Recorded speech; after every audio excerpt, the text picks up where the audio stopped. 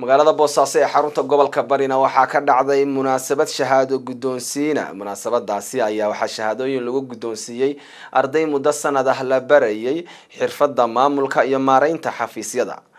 Warbixintan waxaa boosaaso ka soo diray wariyahayaga gobolkaasi nooga soo warama maxamed deeq cabdallah munaasabadda shahaadooyinka lagu guddoonsiinaya ardaydan baratay xirfadda maamulka iyo maareynta kana dhigatay school of professional studies and service oo ku yaalla boosaaso ayaa waxaa ka soo qayb galay mas'uuliyiinta hay'adda fawosom iyo mas'uuliyiin ka socday ururka waawa iyo marti sharaf kale. Ugu horeyn waxaa faahfaahin ka bixisa ardaydan qalinjibinaysa tiradooda cidda ka gacan geysta waxbaristooda saynab ayaan oo ah madaxa school of professional and studies.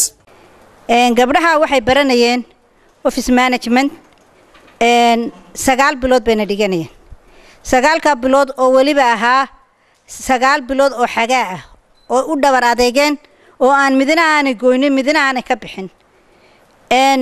Hay'adda ku deeqday waxaa la yidhahdaa fawosom forum of africa women educationist bayskeeduna yahay nairobi kana furan soddon one soddon iyo afar wadan oo afrika ah oo horn of africa u badan.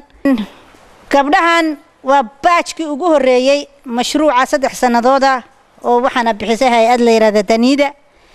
Saddex sannadood marka beejkii u horreeya weeye beejkii labaadna hadday dhigtaan oy dhameeyeen.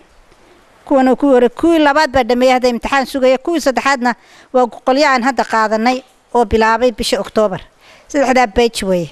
Batuur oo ah guddoomiyaha ururka koodh ayaa u hambalyeysay ardayda gabdhaha u badan ee la tababaray. Sheegtayna fursadaha soo socda ee u bannaan? Xirfadan hadda maanta aad soo barateen oo ah office management runtii wuxuu ahaa waxyaabaha ay aad u raadinayeen nimanka raba in loo shaqeeyo. Waxay yidhahdeen office management or any kind of oo macnaha office ku saabsan ardayda wadata inta badan waan qaadanaa. Annagana waxaan rabnaa insha allah inaan ka shaqeyno oon xoojino saynab muwasinge oo ah xiriiryaha barnaamijka ee waawa ayaa sheegtay in haweenka aqoonta leh ay soo saaraan carruur aqoon leh An educated woman makes a very good wife, makes a very good mother.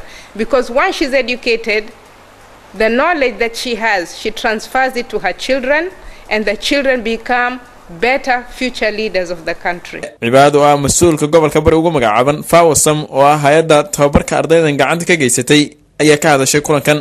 Annagu marka ujeeddadeedu waxaan u ololeynaa sida ay saynab idiin sheegtay gabdhaha danyarta ah ama haweenkaba sidooda bannaanba gabdha hadday yihiin in la baro xirfadaha si ay ugu shaqaystaan.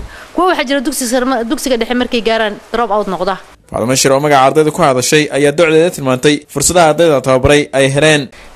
Waxaan ka helnay fursado aada iyo aada qaali u ah waxaana ka mid a fursadahaas labaatan ka mid a gabdhahaas waxa ay ku biiraan university jaamacadaha. Sidoo kale toban ka mid a waxay heleen shaqooyin. And also sidoo kale toban ka midana waxay ku shaqeeyeen si volunteer ah. Ugu dambeyntii waxaa munaasabadda shahaadooyin lagu guddoonsiiyey ardayda halkaasi ka qalin jabisay kooraska waxbarasho ee maamulidda xafiisyada maxamed eeq cabdalla t v-ga caalamiga somaali channel boosaaso